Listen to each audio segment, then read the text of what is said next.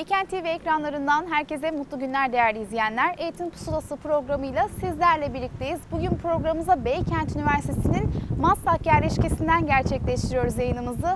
Okulumuzun değerli rektörü Profesör Doktor Mehmet Emin Karahan hocamız bizlerle birlikte olacak. Kendisinden tercih süresince de okulumuzla alakalı detaylı bilgiler alacağız. Buradan tercih döneminde olan arkadaşlar için hocamız bize çok değerli bilgilerini sunacak. Hemen kendisine dönüyoruz ve merhaba diyoruz hocam. Hoş geldiniz. Merhaba, hoş bulduk. Nasılsınız öncelikle? Çok teşekkür ederim. Sizler nasılsınız? Çok iyiyim, çok teşekkür ediyorum. Okulumuzun öğrenci dekanı Sayın Serhat Batur'la tabii ki bizlerle birlikte. Hocam siz de hoş geldiniz. Çok teşekkür ederim. Hoş bulduk. Evet.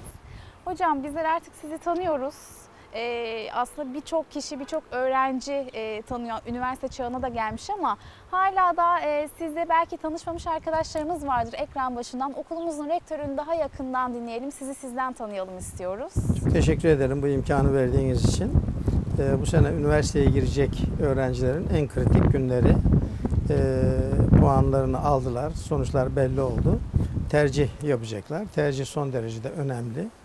Ee, çok dikkatli yapılması lazım. Özellikle bu sene çok dikkatli yapılması lazım. Bu sene çok tercih hatası Evet. yapılabilir çünkü. Geçen seneki puanlarla bu seneki puanlar tamamen farklı. Geçen seneki puanla mukayese ederek ben şuraya girebilirim, şurayı tutturabilirim veya şuraya giremem gibi değerlendirmeler yapmak doğru değil, yanlış. Onun için e, birçok kimse ya ben burayı kazanamam diye yazmaması yapabilir, hata eder. Birçok kimse de ben burayı kazanabilirim diye yazıp açıkta kalabilir. Onun için çok dikkatli yapmaları lazım. Ee, insan hayatında dünyevi olarak önemli iki şey var. Bunlardan bir tanesi iş seçimi, bir tanesi eş seçimi. Bu ikisiyle e, kişiler ömür boyu birlikte oluyorlar. Dolayısıyla bunun çok iyi değerlendirilip seçiminin yapılması lazım. Onun için bu aşamalardan birincisini e, aday öğrencilerimiz yapmak üzere. Ben Beykent Üniversitesi'nin rektörüyüm. 8 senedir, 8. senem bu sene. E, ikinci dönemimin son aylarını yapıyorum. Ben e, 1949 Uşak doğumluyum. İlkokulu, ortaokulu, liseyi Uşak'ta bitirdikten sonra 1966'da öğrenci olarak İstanbul Teknik Üniversitesi'ne geldim. Ve 1971'de İstanbul Teknik Üniversitesi İnşaat Fakültesini bitirdim. Benim idealim e, kariyer yapmaktı, üniversitede kalmaktı, akademisyen olmaktı. Çok iyi bir öğrenciydim üniversitede. Çok iyi iş imkanları olduğu halde o zaman ben yine üniversitede kalmayı tercih ettim. Dışarıdan bana teklif edilen ücretlerinin ücretlerin onda birini tercih ederek asistan oldum. Ee, bugün bunca yıllık işte kaç sene olmuş? 1971'de mezun oldum ben. 40, 40 42 senem olmuş. 42, 47 sene olmuş. 47 senelik tecrübeden sonra geri dönüp başlasam yine aynı yerden başlarım diye düşünüyorum. Ben e, üniversite hocalığını, akademisyenliği e, çok seviyorum. E, Beykent'te benim bu 9. senem, 2009'da geldim ben. Rektörlükte de 8. senem. İyi ki gelmişim diyorum. Beykent'te çok güzel şeyler yaptık. Beykent'i ben 8 bin öğrenciyle teslim aldım. Bugün 32 bin, 33 bin öğrencimiz var. Ee, 210 öğretim elemanımız vardı. Alan dışı olanları göreve başlayınca çıkarmıştım. 140 öğretim elemanımız kalmıştı. 70 kişinin işine son vermiştik. Bugün e, 960 kadrolu öğretim elemanımız var. Hemen hemen akla gelebilecek bütün fakülteler, bölüm ve programlar Beykent Üniversitesi'nde mevcut. Ee, 2009'da ben kendi isteğimle Teknik Üniversiteden emekliliğimi istedim ve Beykent Üniversitesi'ne geldim. 9 yılda burada çalışıyorum. Ee, isterseniz biraz da Beykent Üniversitesi'nden Evet hocam. bahsedeyim. Ee, Beykent Üniversitesi şu anda bu yıl itibariyle 4 e, yerleşkede hizmet verecek. E, Beylikdüzü yerleşkemiz var. İçinde bulunduğumuz Maslak, Ayaza yerleşkemiz var. Taksim yerleşkemiz var. E, bir de bu sene devreye girecek olan Beylikdüzü yeni bina dediğimiz Hadımköy'deki binamız var. 100 bin metrekare kapalı ve açık alan olan pırıl pırıl bir bina. E, bu sene orası da devreye girecek. Ve yeni bir eğitim öğretim modeline başlıyoruz. Çoklu yerleşkede eğitim adıyla e, Ayazağ'daki, Maslak binamızdaki ve Taksim binamızdaki hukuk fakültesi ile buradaki mühendislik mimarlık fakültesi Güzel Sanatlar Fakültesi, İktisadi İdareler Fakültesi ve İletişim Fakültelerinin birinci sınıfına bütün bölüm- bölümlere gelen öğrencilerin bir grubu bu binalarda kalacak. Bir grubu da Avalon'a, Beylikdüzü'ne veya yeni binamıza Hadımköy'e gidecek. Ee, dolayısıyla bu eğitim öğretim yılında birinci sınıfların yarısı burada yüzde elli yüzde elli düşünecek olursak yarısı orada olacak Avalon'da ve Hadımköy'de. Bir sonraki sene hem birinci hem ikinci sınıfların yarısı burada yarısı orada olacak. Dört sene sonra üniversitenin yarısı burada yarısı orada olacak. Dolayısıyla dört sene sonra e, dört yerleşkede de aynı yükle çalışılacak. Şimdi bu çoklu yerleşkede eğitimin e, iki büyük faydası var çok önemli. Bunlardan bir tanesi öğrenci sayısı ikiye bölüneceği için iki gruba daha az sayıda öğrenciyle daha kaliteli eğitim vermek mümkün olacak. Diyelim ki burada bir sınıfa, birinci sınıfa 60 kişi alıyorsak eskiden 60 kişi tek sınıfta ders yapıyordu. Şimdi 30'u burada kalacak. 30 kişiyle burada eğitim yapılacak. 30 kişiyle orada eğitim yapılacak. Öğrenci sayısı yarıya inmiş olacak. İkincisi İstanbul çok büyük bir metropol. Mesela bugün e, işte bizim Beylikdüzü e, yerleşkelerimizin bulunduğu yerden bizim İktisadi İdari Bilimler Fakültesini tercih edecek öğrenci oradan buraya gelmesi gerekiyor. Bu çok büyük bir mesafe. Metrobüs hattı üzerinde olduğu halde e, nereden baksanız en az bir saat, bir buçuk saat alıyor. Halbuki biz bu imkanla hizmeti öğrencinin ayağına götürmüş oluyoruz. Orada doğrudan doğruya eğitimini yapmış olacak. Üniversite için, e, üniversite adına da büyük e, yükler altına giriyoruz. Mesela burada bizim yeterli öğretim üyemiz var. Olduğu halde orada e, çok yerleşkede eğitim yapacağımız için oraya da yeni öğretim üyeler alıyoruz. Bugünlerde bol bol çarşaf gibi ilan çıkıyoruz. Oranın öğretim üyesi de ayrıca gelişiyor. Ama ben mutlaka buradaki öğretim üyeleri de en azından haftada bir gün oraya gitsin. Oradakiler de haftada bir gün buraya gelsin. İki yerleşkede de e, öğrenciler bütün yüzleri görsünler. Eğitim aynı kalitede alınsın diye istiyorum. E, bizim üniversitemizde e, hemen hemen bütün bölümler var. Bütün fakülteler var. Tıp fakültemiz, diş hekimliği fakültemiz, e, sağlık bilimleri yüksekokulu altındaki hemşirelik, fizyoterapi, rehabilitasyon, beslenme, diyetetik bölümlerimiz geçen sene ilk olarak açıldı. Geçen sene birinci sınıfları okudular. Bu sene ikinci sınıfları okuyacaklar. Ee, sanıyorum şu anda Türkiye'de e, en son teknolojiyle yapıldığı için en iyi altyapı tıp fakültesinde ve diş hekimliği fakültesinde e, Beylik, Beykent Üniversitesi'nde mevcut. Öğrencilerimiz, velilerimiz son derece memnun. E, pırıl pırıl binalarda, son teknolojiyle donanmış laboratuvarlarda kaliteli bir eğitim alma imkanı buluyorlar. Akademik kadromuz e, her sene biraz daha artıyor. Her sene çok aktif ve dinamik bir akademik kadromuz var bizim.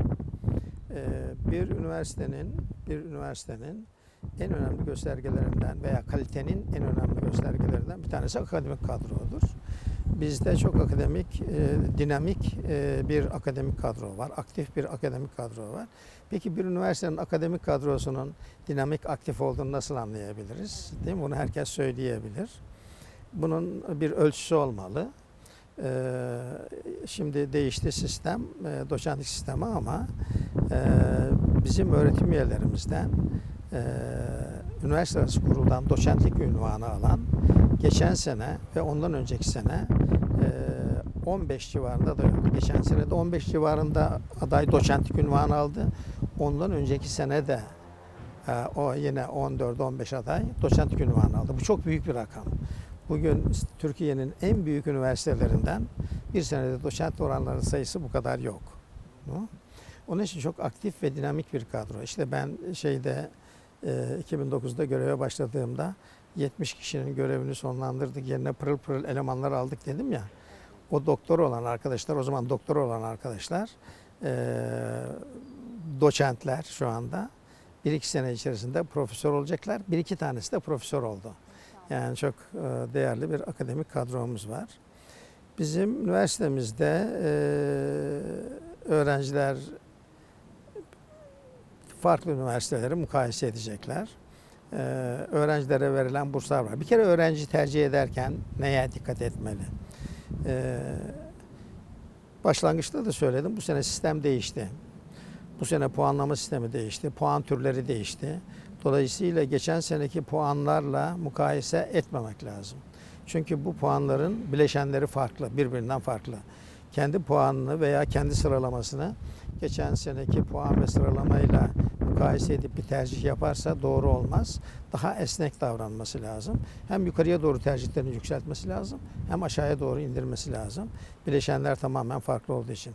Ha bir sonraki sene, önümüzdeki sene ha, bu seneki aldıkları puanlarla mukayese ederek daha sağlıklı, daha doğru tercih yapabilirler. Bu sene ona dikkat etmeliler. Bir üniversiteyi tercih, tercih ederken nelere dikkat etmeli adaylarımız? Bir kere önce meslek seçmeli. Önce meslek. Ben hangi mesleği yaparım? Hangi mesleği yapmam lazım? Bir kere en çok severek yapacağı meslek neyse onu seçmeli. O meslekleri sıralamalı. Bir kere istediği mesleği sıra- sıralamak her şeyden önemli. Ee, bunun için anneler, babalar çocukları yönlendirmemeli. Çocuklara fikir vermeli ama kararı çocuklar kendileri vermeleri. Öğrenciler kendileri vermeleri lazım. Çünkü ömür boyu o mesleği yapacak olan o. Ben öyle öğrenciler hatırlarım. Ee, anne baba zoruyla mesela teknik üniversitedeyken ben 12 sene idarecilik yaptım. Orada da eğitim öğretimle ilgilendim. Ee, genelde e, işte anne baba ayrıysa baba çocuğunun parasını veriyor üniversitede okusun diye. Şuraya gideceksin diyor. Mesela bir öğrencim hatırlıyorum ben gelip bana demişti ki babam benim inşaat mühendisi olmamı istedi zorladı. Şu anda paramı veriyor. Burada okumak zorundayım. Ama bitirdikten sonra kendim çalışmaya başlayacağım, para kazanacağım ve fizikçi olacağım demişti. Dolayısıyla severek yapmak son derecede önemli. Hangi mesleği severek yapacaksa onu yapmalı. Onu yapmalı. Ee, sevmek çok önemli. Ha, ondan sonra e, bu okulları puan sırasına veya e, sıralama sırasına sokması lazım. Bir, yukarıdan aşağıya doğru baktığımızda hem istek sıramıza uygun olmalı tercihlerimiz hem de puanlama, sıralama sırasına uygun olmalı. 24 tane tercih yapma imkanı var. Dolayısıyla biraz yukarıya doğru, biraz da aşağıya doğru geçen senelere göre fazla daha esnek davranması lazım. Ee, ve ondan sonra da e, inşallah en çok arzu ettikleri yer neresiyse orayı kazanırlar diye düşünüyorum. Ben bütün velilere ve öğrencilere bu tercih döneminde e, kolaylıklar diliyorum, başarılıklar diliyorum. Bütün öğrencilerimizin en çok sevdiği meslek neyse orayı kazanmalarını diliyorum. Mesleği seçtikten sonra, mesleği seçtikten sonra acaba ben bu mesleği hangi üniversitede okuyabilirim? Çünkü aynı sıralamalarla, aynı imkanlarla farklı üniversiteler alıyor olabilir. O zaman üniversiteleri değerlendirip hangi üniversitede bu mesleği edineceğine karar vermeli. Üniversiteyi değerlendirirken de şuna bakmalı. Bir, İstanbul, İstanbul dünyanın en güzel şehirlerinden birisi değil, dünyanın en güzel şehri. Dolayısıyla İstanbul'da eğitim almak, yüksek öğrenim görmek ayrı, ayrı bir ayrıcalık. Ee, Dolayısıyla İstanbul'u tercih etmeleri çok doğaldır diye düşünüyorum. Benim tavsiye etmeme gerek yok. Zaten öyle. Ben de İstanbul'a geldim ve ayrılamadım. Mesela 1966'da ben öğrenci olarak geldim. Ondan sonra hep İstanbul'da kaldım. Ün- Üniversiteyi belirledikten, üniversiteyi belirlerken üniversitenin ulaştırma, ulaştırma imkanları nasıl ona bakması lazım. E, yurt imkanı var mı yok mu ona bakması lazım. Öğrenci kulüpleri var mı yok mu ona bakması lazım. Bursluluklarına bakması lazım. Mesela bizim dört yerleşkemiz var dedim. Dört yerleşkede İstanbul'da ana ulaşım alterleri üzerinde. Dolayısıyla bizim yerleşkelerimize, kampüslerimize ulaşım kolay, zor değil. Ee, hem bu Maslak yerleşkemizde hem de Beylikdüzü yerleşkemizde öğrencilere yetecek kadar e, yurdumuz veya konuk evimiz var. İhtiyacı karşılıyor. Ee, boş yerlerimiz kalıyor yani düşünün. Bütün öğrencilerin ihtiyacına cevap verebiliyoruz. Yurt imkanlarımız var. Ee, burs imkanlarımız var. Nedir burs imkanları? Öğrenciler daha ÖSYM ile kazanıp gelirken bir takım bursları veya indirimleri kazanarak geliyorlar. Ee, ÖSYM'de ÖSYM'de zorunlu olan burs en az %10 tam bursluluktur. Bunu bütün üniversiteler vermek zorundadır. Yani kaç öğrenci almışsanız bir bölüme onun %10'unu en az %10'unu e, tam burslu olarak vermek zorundasınız. Bütün üniversiteler bunu vermek zorunda ve bütün üniversiteler bunu 4 yıl süreyle, lisans bölümleri için söylüyorum, 4 yıl süreyle, e, ön lisansta da 2 yıl süreyle vermek zorunda. Yok sen disiplin cezası aldın, yok başarı ortalaman düştü diye bunları kesemezler. Bunun dışında üniversitelerin ayrıca indirim veya burs olarak sunduğu imkanlar var. Mesela %75 burs veriyorum diyor, indirim yapıyorum. %50 indirim yapıyorum, burs veriyorum. %25 veriyorum diyor. Ha, bu noktalara dikkat etmeli. Bunlar sürekli mi, kesintili mi? Mesela bazı üniversiteler veriyor bir sene, ikinci sene diyor ki ortalamanız düştü, kestim. Efendim disiplin cezası aldınız, kestim. Biz kesmiyoruz bursumuzu. Bizim burslarımız e, sadece lisansta 4 yıl, ön lisansta 2 yıl değil, lisansta 4 artı 1 yıl, 1 yılda avans veriyoruz öğrenciye. Ön lisansta da 2 artı 1 yıl yani orada da 1 yıl avans veriyoruz. E, 4 artı 1 sene lisansta, 2 artı 1 sene de ön lisansta hiç başarı durumuna, efendim disiplin suçuna falan bakmadan bunu devam ettiriyoruz. Burslarını devam ettiriyoruz. Buna bakması lazım. Bunun dışında bir de çok önemli olarak bizde başarı bursu var. Bu bursları alıp geliyor. Ondan sonra başarıyı teşvik etmek için bir öğrenci okuduğu eğitim öğretim yılında sınıfının birincisi olursa bir sonraki seneyi yüzde elli daha indirimli okuma hakkı kazanıyor. Ee, dolayısıyla bu hem çalışmayı teşvik ediyor, başarıyı teşvik ediyor ve çok önemli bir rakam. Zaten yüzde elli burslu gelmişse bir de başarı bursu alırsa o ödediği yüzde ellinin de yarısını ödeyecek. Onun için çok büyük bir imkan. E, sporcularımıza burs veriyoruz. E, kendi branşında e, A milli olmuş bütün sporcularımıza burs veriyoruz. Yine ÖSYM sınavında işte ilk bine girmiş, ilk birkaç bine girmiş öğrencilere değişen miktarlarda maddi burslar da veriyoruz. Bu bunun dışında çok ihtiyaç içerisinde olan öğrencilerimiz oluyor. Ee, çok fazla miktarda. Ha bir de tercih indirimlerimiz oluyor. Bu sene tercih indirimlerimiz e, olacak. Mesela ilk 10 tercihinde ilk 10 tercihinde 5 tercihini Beykent Üniversitesi olur olarak yazan ve kazanan öğrencilere ayrıca %10 tercih indirim veriyoruz. Eğer e, Büyükçekmece yeni binamızdaki bölümleri isterlerse ayrıca bir yüzde on daha veriyoruz onlara. Orayı teşvik etmek için. Aslında yeni açılan bina diğer binalarımızdan çok daha güzel. Pırıl pırıl bir bina. Ama bilinmeyen öğrenciler tarafından, veliler tarafından bir bina. Onun için başlangıçta orayı teşvik ediyoruz. Yani oraya gidecek öğrenciler biraz daha e, fazla teşvik primi almış oluyorlar diyelim. E, bir de böyle tercih indirimlerimiz var tercih indirimlerimiz var diyoruz. Peki hocam e, size bırakıyorum. İzniniz olursa. Hocam bir de üniversiteyi tercih ederlerken öğrencilerin en büyük kriterlerinden bir tanesi de Erasmus oluyor aslında ki Evet. üniversitemizdeki uluslararası etkinlikler daire başkanlığımız bu konuda çok aktif. Her sene birçok ülkede anlaşmalar yapmak için gidiyorlar. Erasmus öğrenciler için gerçekten çok önemli midir o üniversite okurlarken? Üniversitemizin nasıl öğrencilere sunduğu e, imkanlar var? Çok teşekkür ediyorum. Bir kere öğrenci dekanlığından bahsedelim her şeyden önce. Öğrenci dekanlığı her üniversitede bulunan bir kurum değil. Ee, biz e, birkaç sene olduk öğrenci dekanlığını kuralı ee, ve çok aktif olarak çalışıyor. Hatta öğrenci dekanlığını kurduğumuzda diğer dekanlıklar biraz e, sitem etmişlerdi. Yani o dekan bizim üstümüzde mi, altımızda mı, yani bu nasıl dekanlık falan diye. Halbuki öğrenci dekanlığı diğer dekanlıkların ilgi ve yetki alanında kalan konuların dışındaki bütün konularla inceleniyor, şey, ilgileniyor. Öğrencilerimiz ilk olarak öğrenci dekanlığıyla muhatap oluyor. Öğrenci dekanlığı kendi çözeceği problemse çözüyor, yönlendirecekse fakültelere onlar yönlendiriyor.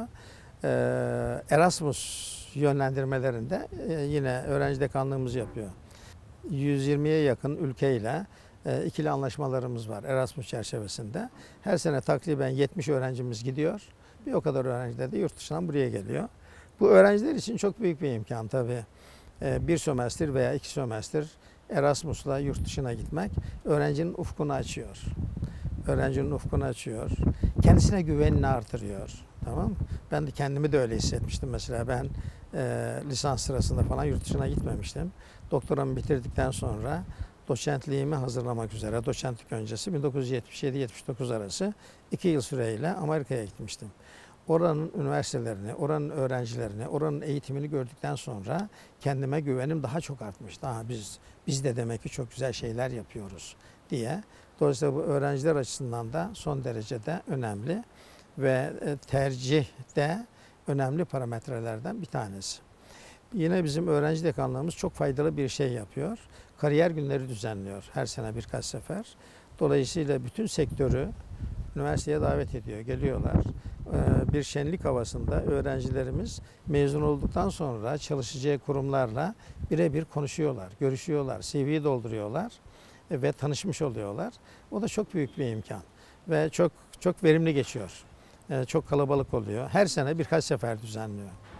Yani evet birçok e, aslında öğrencinin ulaşamadığı şirketler bir de şirketlerde üst düzey yöneticiler geliyor bu kariyer Evet. günlerine. Evet. Ya kurucuları geliyor ya e, hani e, İK e, müdürleri geliyor. Hani Evet. gerçekten yetkili bireylerle birebir görüşme fırsatı buluyor Evet, arkadaşlarımız. evet. Çok büyük çok bir faydalı imkan. toplantılar oluyor.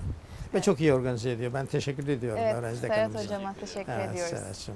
Bu yılı biz 2017-2018'i kariyer yılı ilan etmiştik. 522 firma üniversitenin içerisine girdi ki bu bizim için iyi bir başarıydı. İnşallah daha ileride hocamın desteğiyle, hocamın desteği zaten bizim üzerimizde çok büyük. Kendilerine teşekkür ediyorum aynı zamanda. Hocam bir de öğrenciler hep e, biz aslında İK'larla görüştüğümüz zaman firmalar hep yurt dışı yurt dışı deniyor. Yurt dışında yüksek lisanslar deniyor ya da Türkiye'de yapacaksa da yurt dışı deneyimi deniyor. Tabi burada diploması çok önemli oluyor öğrencinin. Biz üniversite adına da yurt dışına çıktığımızda Beykent Üniversitesi yurt dışında da çok ismen tanınan bir üniversite ama bir yandan da e, diploması gerçekten oralarda geçerli midir? Bunda bir ek belge var mı? Nasıl buradaki? Evet. Ee, şimdi bunu iki şekilde değerlendireceğim. Bir, e, biliyorsunuz e, Türkiye'de Yüksek Öğretim Kurumu var. Yüksek Öğretim Kurumu'na e, bağlı olarak çalışan bütün üniversiteler ki bunun dışında çalışan üniversite yok. Yüksek Öğretim Kurumu'nu tanıyan bütün dünya ülkelerinde bu üniversitelerin diplomaları da geçerli. Tamam. Geçerli. Ee, ama sadece geçerli olması yetmiyor. Mesela Avrupa Birliği kuruldu. Avrupa Birliği başlangıçta bir ekonomik birlik olarak kuruldu. Sonra serbest dolaşım başladı. Serbest dolaşım başlayınca oradaki vatandaşlar e, aynı ülkede dolaşıyormuş gibi bu Avrupa ülkelerinde dolaşmaya başladılar. O zaman şu farklılıklar ortaya çıktı. Mesela ben inşaat mühendisiyim. İnşaat mühendisi yetişen, yetiştiren birçok kurum var. Avrupa Birliği'nde de böyleydi ülkelerde. Peki bu üniversitelerin hepsi aynı kalitede inşaat mühendisi yetiştirebiliyor mu? Bu şüpheliydi o zaman. Ha, demek ki bu farklılığı ortadan kaldırmak lazım denildi ve Avrupa Yüksek Öğretim Alanı oluşturuldu. Ee, işte Bologna süreci başladı. Bologna süreciyle bütün e, üniversiteler e, eğitim öğretim çıktılarını birbirine uydurmaya çalıştılar, başladılar. Biz Bologna sürecine 2012'de geçtik. 2012'de biz kendimizi Bologna sürecine uydurduk bütün e, ders planlarımızı, efendim yönetmeliklerimizi, yönergelerimizi e, ona göre güncelledik. Dolayısıyla bizim diplomalarımız bugün Türkiye'de de Avrupa'da da geçerlidir. Ondan şüphemiz olmasın. E, fakat öğrencilerimiz ben işte bitirince yurt dışında çalışacağım. Yüksek lisansımı, doktoramı mutlaka yurt dışında yapmam gerekiyor diye düşünmemesi lazım. Türkiye'de de hem yüksek öğrenimlerini çok kaliteli bir şekilde alabilirler hem yüksek yüksek lisanslarını hem doktorlarını çok iyi şekilde yapabilirler. Yani biz dışarıya öğrenci ihraç etmemeliyiz.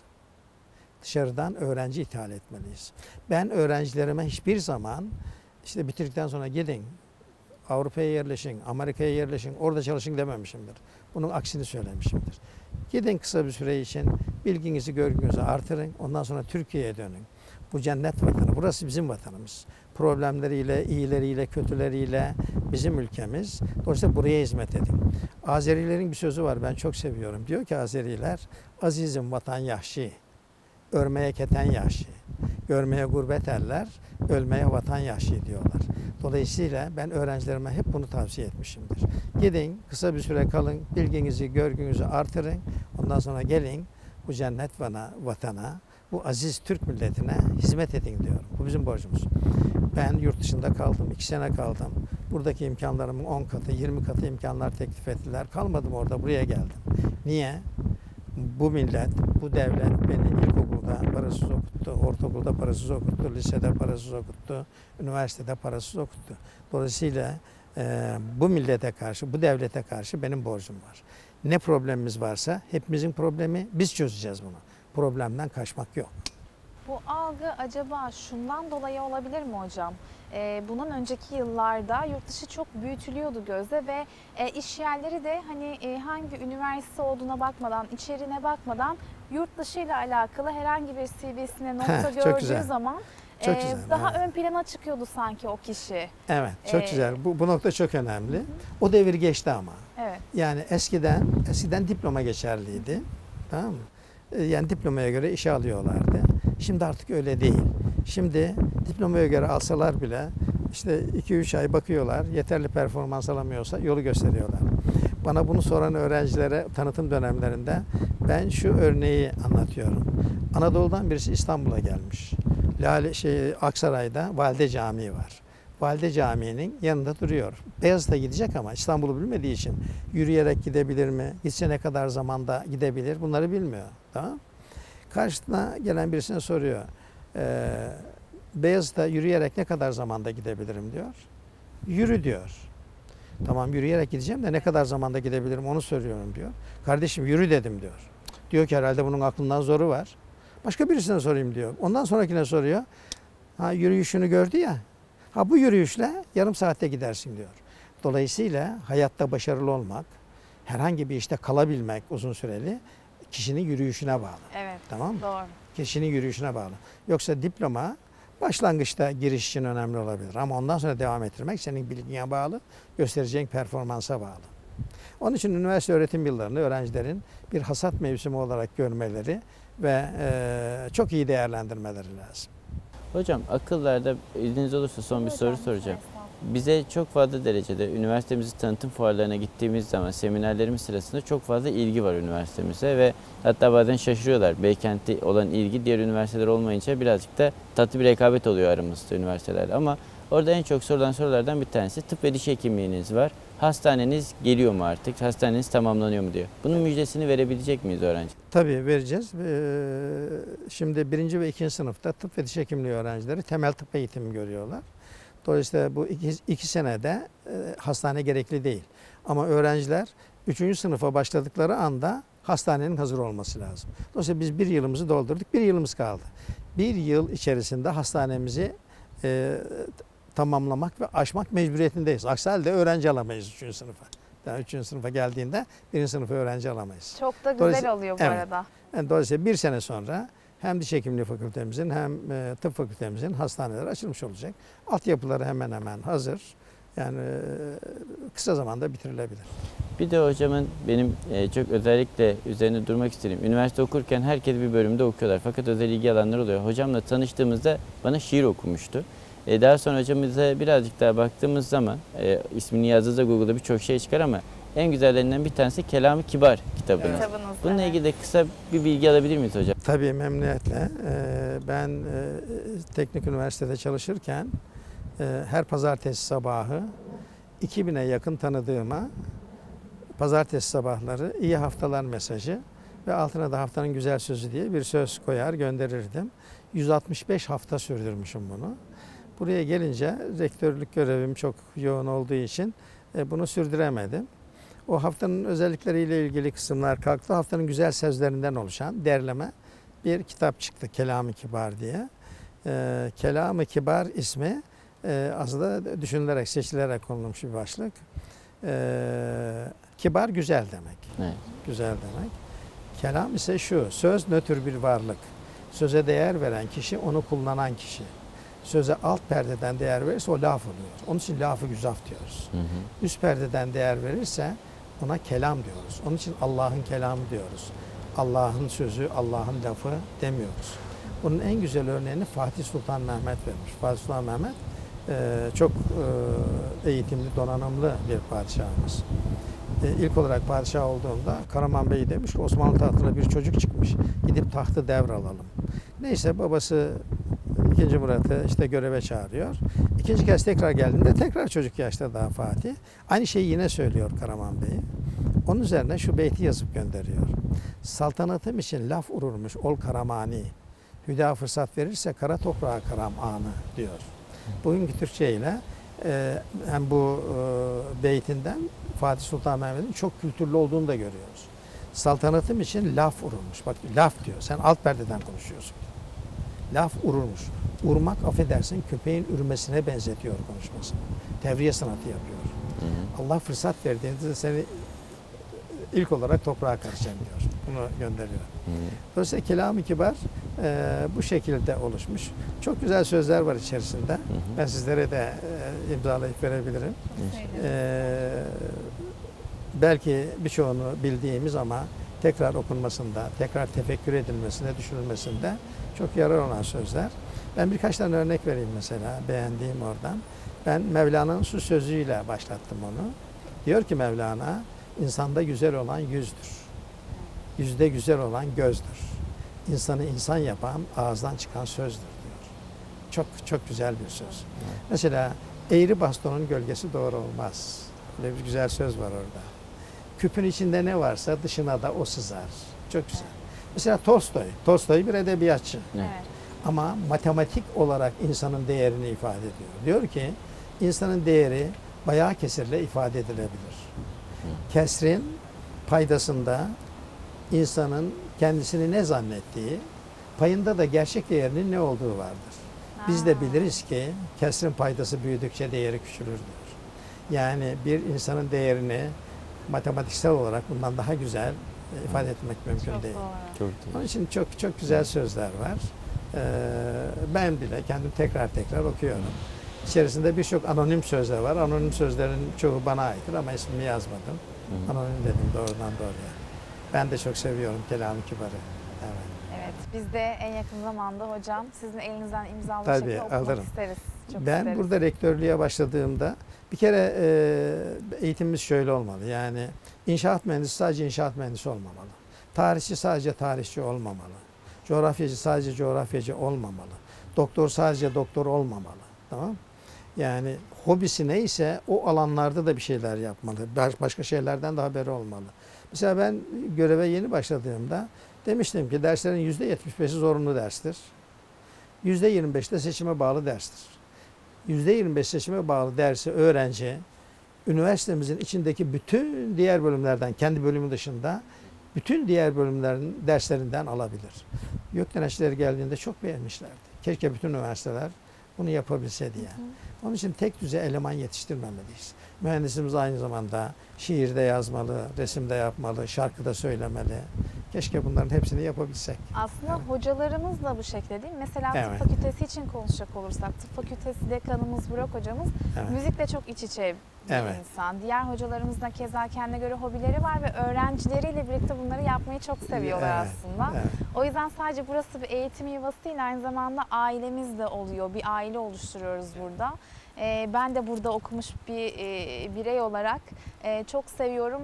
E, bu tercih dönemlerinde de e, sizlerle birebir tanışmalarını tavsiye ediyorum öğrenci adaylarımızın. Mutlaka kampüslerimize, yerleşkelerimize pardon bekliyoruz öğrencilerimizi diyoruz. Çok güzel. Çok bütün öğrencilerimize ben tavsiye ediyorum. Yani mesela özellikle İstanbul'da eğitim görecek öğrenciler çok şanslı bu bakımdan. Ee, öğrencilik hayatlarını sürdürürken senenin 365 günü kendi ilgi alanı neyse, kendi hobisi neyse o alanla ilgili olarak mutlaka bir etkinlik bulabilir bir yerde. Kesinlikle. Ve bunları değerlendirebilir. Bunlar insana komprime bilgiler veriyor. Evet. Mesela ben üniversitede öğrenciyken 3 yıl süreyle aralıksız haftada 3 gece e, Yahya Kemal Enstitüsü'ne giderdim. Tamam? Üç, sürekli olarak 3 sene devam ettim. Yahya Kemal Enstitüsü'ne. O zaman işte e, önde gelen hocalarımız kimlerse, değerli büyüklerimiz kimlerse onlar gelir orada konferanslar verirlerdi. Komprime bilgi verirlerdi. Siz orada bir saatte edindiğiniz o komprime bilgiyi okuyarak yıllarca sonra alabilirsiniz. Yani çok değerli. Mesela ben Mehmet Kaplanları, Muharrem Erginleri, e, Nihat Sami Banarlı'yı orada tanıma imkanı buldum. Sabahattin Zaim'i. E, bunlar çok değerli insanlar. Ben Türkçeyi Nihat Sami Banarlı kadar güzel konuşan bir kimse görmedim. Ağzından bal akardı. O kadar güzel konuşurdu. Mesela Türkçe'ye gösterilmesi gereken saygıyı Muharrem Ergin'den öğrendim. Bir tarihte Türkiye'de şöyle bir şey vardı, e, akım vardı. İşte Türkçeyi yabancı kelimelerden kurtaralım, temizleyelim, ayıklayalım. Bu Arapçadır, bu Farsçadır, bu Fransızcadır, bu İngilizcedir, bu Almancadır diye atalım. Buna tamamen karşıydı. Derdi ki Muharrem Ergin, aynen onun cümleleriyle söylüyorum. Derdi ki, dil yaşayan bir nesnedir. Dile dışarıdan müdahale edilmez. Dil ancak kendi kendisini yeniler. Ben bir şey söylediğimde siz beni anlıyorsanız, o kelime artık benim kelimem olmuştur. Benim dilimin zenginliğini gösterir. Bu Arapçadır, Farsçadır diye atmamak lazım. Mesela atmışlar, hakim, hepimizin bildiği değil mi? Hı hı. hakim kelimesi yerine ne koymuşlar? Yargıç koymuşlar. Peki adliyedeki hakim yerine yargıç tutmuş. Evet. Ama hakim bizim dilimize nüans farklarıyla yerleşmiş. Denize hakim bir bina. Ne diyeceksin? Denize yargıç bina mı diyeceksin? Tabii. Konusuna hakim bir bilim adamı. Ne diyeceksin? Konusuna yargıç bilim adamı mı diyeceksin? Tamam? Mesela bugün Fransızca pötül arası açın. İçerisinde şiş kebap görürsünüz. Şiş kebap. Ve Türkçeden şu tarihte alınmıştır diye yazar. Bu insan yani dilin zenginliğini gösterir. Türkçe çok zengin bir dildir. Dilimizi fakirleştirmememiz lazım. Çok doğru söylüyorsunuz. Evet hocamıza var mıydı hocam farklı Yo, ben çok teşekkür ederim hocama. Çünkü biz Evet. öğrencilerle, öğrenci dekanlığı olarak öğrencilerin hocam bahsetmiş olduğu gibi sorunlarını çözebildiklerimizi yapıp çözemediklerimizi iletiyoruz ama öğrencilerin en güzel noktası aslında hocamızın katından geçerken hocamız gördüğünde içeriye gelip gel çay içelim dediği de oluyor. Surat asık olduğu zaman neden suratın asık diye de soruyor. O yüzden ben 19 yıldır vakıf üniversitelerinin içerisindeyim. Ee, hocamın yüzüne diye değil yani burada izleyiciler birçok üniversite inceliyor. Çok hocalarım değerli. Bütün rektör hocalarım da çok değerli ama bizim rektör hocamız kadar öğrenciyle iç içe olup sorunlarını dinleyen, vaktini ona harcayan hem de bu kadar iş yoğunluğu arasında onların dertlerine çözüm arayan e, bir yöneticinin olması bizim Canlı için çok şahidi büyük bir benim şan. burada. Ben de Yani. öğrenciliğimizde e, gerçekten çok ziyaret ettik hocamızı. E, yaşadığımız hani problem demeyeceğim ama hani çözüm daha farklı çözüm önerileriyle gittiğimiz hocamız da her zaman kapısını açtı, her zaman bizi dinledi ve her zaman yanımızda oldu öğrencilik dönemimizde de. E, çok değerli bir rektör kendisi gerçekten çok teşekkür ediyoruz. Teşekkür ediyorum. Aslında bu içinde. bu çok büyük bir imkan. Ben bahsetmedim ondan. Şimdi benim kapım sürekli açık Evet, ve benim odamda e, bilirsiniz iki tane masa var. Evet. Bir makam masası var, bir de çalışma masam var. Makam masasında ben sadece diploma imzalarım zarar görmesin diye. Çalışma masamda otururum. Kapım açık olduğu için çalışma masamdan da koridor görünür. Kapı da açık. Dolayısıyla benim yanımda kimse yoksa, öğrenci de olsa, e, idari personel de olsa, akademik personel de olsa daha önceden randevu almaya gerek duymadan, kapı vurmaya gerek duymadan doğrudan doğruya gelebilir. Sadece benim değil dekanlarımın da kapısı aç- açıktır, hocalarımın da, bölüm başkanlarımın da. Bu sistemi biz yerleştirdik. Bu imkanı veren başka bir üniversite yok Türkiye'de. Yok çok zordur zaten Yani Başka bir normalde. ün- üniversite yok. Bu çok güzel bir imkan. Bu benim için de çok büyük bir imkan. Ben hiç ara, hiçbir aracı kullanmadan, aracıdan bilgi almadan doğrudan doğruya birinci elden bilgiyi şikayet alıyorum. O zaman teşhisi doğru yapabiliyorum. Tedavisini de ona göre uyguluyorum. O benim işimi de rahatlatıyor. Evet, ben müsaadenizle bir noktaya daha asla değinmek istiyorum. Özellikle bu tercih döneminde önemli bir husus olduğunu düşünüyorum. Ee, biraz önce yurt dışındaki okul- okullar için e, bir yargıdan bahsetmiştik ama bir de şöyle bir yargı var aynı zamanda, vardı daha doğrusu öncesinde. Ee, hani devlet üniversiteleri daha ön plandaydı, vakıf üniversitelerinde okuyan öğrenciler genellikle hani başarısız olarak addedilebiliyordu ama artık böyle bir durum söz konusu değil. öğrencilerimiz de başarılarıyla burada okuyorlar ve e, daha farklı imkanlara aslında daha fazla imkanlara sahipler diye düşünüyorum ben. Ben birkaç e, bu konuda cümle almak istiyorum Tabii, sizden. çok teşekkür arkadaşlarımızı Bu da önemli bir nokta. Mesela bizim üniversitemize tam burslu, diğer üniversitelerde tabii vakıf üniversitelerine tam burslu olarak giren öğrenciler var. Bu öğrenciler eğer tercih etselerdi devlet üniversitelerinde rahatlıkla kazanırlardı. Evet. Tamam. Peki devlet üniversitesi ile vakıf üniversitesinin farkı ne o zaman? Şimdi geçen de kalite kurulunda toplantı vardı. Ben orada da aynı şeyi söyledim. Ee, Şimdi devlet üniversitesinde bir öğretim üyesi işini yapmasa, dersine zamanında girmese, zamanında çıkmasa, öğrenci memnun olmasa, efendim öğrenci devamlı şikayetçi olsa bir şey yapamazsınız. Görevini sonlandıramazsınız. Yapabileceğiniz en iyi şey ona ders vermemektir. Görev vermemektir. O da canına minnettir. Oturur maaşını alır emekli oluncaya kadar. Bizde öyle değildir. Bizde bizde bir öğretim üyesi eğer görevini tam yapmıyorsa, dersini iyi anlatmıyorsa, öğrenciyle diyaloğu iyi değilse, öğrenciler arasında ayrım yapıyorsa, dersine geç giriyorsa, erken çıkıyorsa ikinci sene burada olamaz. Evet. Yakinen şey yaparım. Dolayısıyla biz vakıf üniversite olarak öğrenci odaklı çalışırız. Öğrenci memnuniyeti bizde esastır.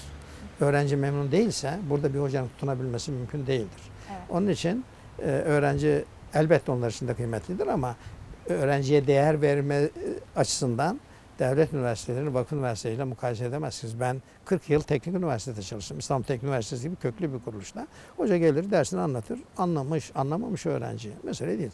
E, dersi bitince çıkar gider. Burada öyle değil. Burada eğer anlamıyorsa niye anlamıyor öğrenci sizin dersinizi diye ben hocayla sohbet ederim. Tamam? Öğrenci gelir bana anlatır, ben dinlerim, ona göre çözümünü bulmaya çalışırım. Yani vakfın avantajı budur. Yani evet. Bir de öğrenciden aslında aldığını fazla fazla imkan olarak sunan, daha iyi imkanlarda mesleğini öğrenmesini sağlaması açısından da büyük bir unsur Evet. diyebiliriz aslında. Şimdi mesela öğrenci dekanlığından bahsettik. Öğrenci dekanlığı işte kariyer günleri düzenliyor. Öğrencileri sektörle çalıştırıyor. Yakinen onların problemleriyle inceliyor. Mesela şu anda biz tanıtım dönemindeyiz değil mi? Evet hocam. Tanıtım dönemindeyiz. Niye yapıyoruz tanıtımı? Kendimizi tanıtalım öğrencilere. Tamam? Öğrencilerimiz gelsinler. Bu güzel imkanlarımızdan yararlansınlar diyor. Devlette bu telaş var mı? Hayır. Yok. Yok. Ha, buradan kontrol edebilirsiniz. Yani devlete yani öğrenci gelmiş, gelmemiş, az gelmiş, çok gelmiş. E, onları çok fazla ilgilendirmez. Ama bizi ilgilendirir. Bu dönem bizim için çok önemlidir. Tamam mı? Onun için biz e, işte gece gündüz koştururuz. Kendimizi öğrencilerimize, velilerimize anlatmaya çalışırız. Kesinlikle. Öğrencilerimize değer veririz. Öğrencilerimiz bizim için çok değerlidir. Onun için siz bizde değersiniz diyoruz ya. e, bunun amacı budur. Evet. Özellikle öğrenci arkadaşlarımız gelsinler burada dediğimiz gibi tekrar rektörümüzle, hocalarımızla, öğrenci dekanla birebir tanısınlar. Bir de hem sanat alanında hem de diğer alanlardaki e, hem atölyeler hem laboratuvarlar yakından görüp gezsinler diyoruz. Çünkü e, buna değer görmeye değer sizin de daha iyi eğitim alabilmeniz adına Evet. bu unsurlar da çok önemli diyoruz. Çok önemli. Evet. Eklemek istediğiniz farklı bir nokta var mıydı değerli hocam? Ee, ben e, tekrar bütün tercih yapacak olan öğrencilerimize ve velilerine kolaylıklar diliyorum. Tercihlerinde başarılar diliyorum. Ee, en iyi şekilde, en sağlıklı şekilde tercihlerini yapmalarını istiyorum. Herkes en çok nereyi seviyorsa orayı kazanmasını da temenni ediyorum. Bütün e, velilerimize ve öğrencilerimize e, kucak dolusu saygılarımızı, sevgilerimizi, selamlarımızı gönderiyorum. Gönderiyoruz evet hocam. Ben çok kısa olarak e, şunu söylemek isterim. Üniversitemizde hocalarımızın desteğiyle beraber aslında çok büyük işler başarılıyor. Bu kariyer kısmının haricinde sanat alanlarıyla çok güzel işler yapılıyor. Şu anda binalarımızı gezdikleri zaman bir sanat sergisi içerisinde kendilerini bulacaklar. Öğrenci kulüpleri çok aktif. 57 kulüp var üniversitede ve her öğrencinin kendi özel ilgi alanına göre bir kısım bulabiliyor. Biz diğer üniversitelerden bu sene şunun farkını yarattık.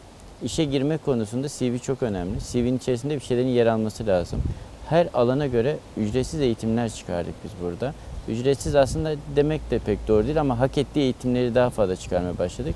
Bunu da teorileri hocalarımız veriyor, uygulama alanlarından getirdik. Şirketlere dedik ki bize yetiştirin siz alın dedik ve bu programlar başladı. Bu için daha da fazla oldu ve istihdam sağlamaya başlayan bir üniversite olduk. Garantisini vermiyoruz çünkü üniversite bir eğitim kurumudur, iş bulma kurumu değil. O yüzden biz onlara sadece bütün kapıları açmaya gayret Adım atmış gösteriyoruz. oluyoruz ama Evet. en azından bu hususta e, çok teşekkür ediyoruz bu imkan için öğrenci arkadaşlarımız adına.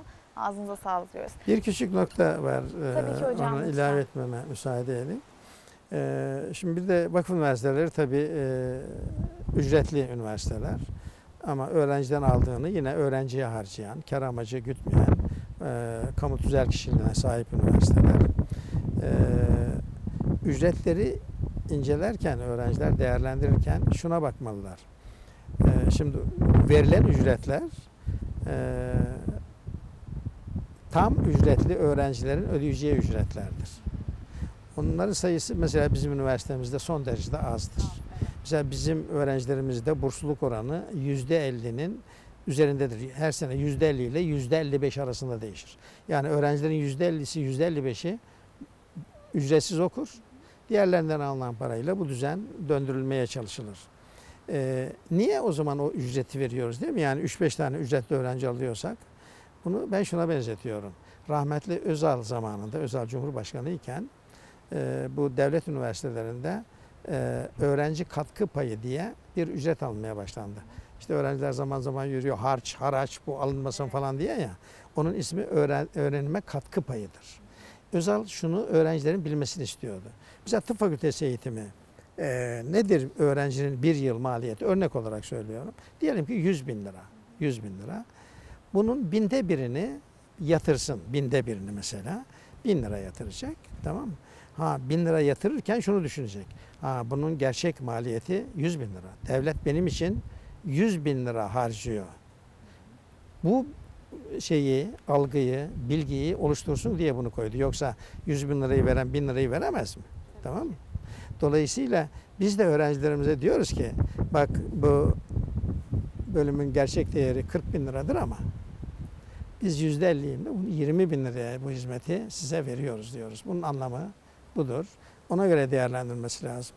Aşağıdaki bursluluk oranlarını, indirim oranlarını dikkatlice izlemeleri lazım. Çok teşekkür ediyoruz hocam. Değerli vaktinizden ayırdınız. Burada öğrencilerimiz için, aday öğrencilerimiz için çok detaylı ve önemli bilgiler aldık sizden. Hem okulumuz hem de onların geleceklerindeki atacakları Evet. adımlar hakkında Evet. aslında. Evet. Ağzınıza sağlık diyoruz. Çok teşekkür ediyoruz. Çok teşekkür ediyorum. Ben de çok teşekkür ediyorum bu imkanı verdiğiniz için. Evet, Serhat hocama da çok teşekkür ediyoruz. Ben teşekkür ederim. Hem öğrenci dekanımız ve sunduğu imkanlar açısından hem de yine burada güzel sorularıyla öğrencilerimizin bilgilendirmesine büyük katkıları bulunduğu için tekrar teşekkürlerimizi sunmuş olalım. Evet değerli izleyenler bugün Eğitim Pusulası'nda Beykent Üniversitesi Maslak yerleşkesinden gerçekleştirdik yayınımızı. Okulumuzun değerli rektörü Profesör Doktor Mehmet Emin Karahan bizlerle birlikteydi. Hem okulumuz hakkında hem tercih dönemiyle alakalı tavsiyeler ve bilgiler aldık kendisinden ve programımızın sonuna geldik efendim. Önümüzdeki bölümlerde tekrar tercih dönemi için bölümlerimizi tanıyacağız, hocalarımızı tanıyacağız. Şimdilik hoşçakalın diyoruz.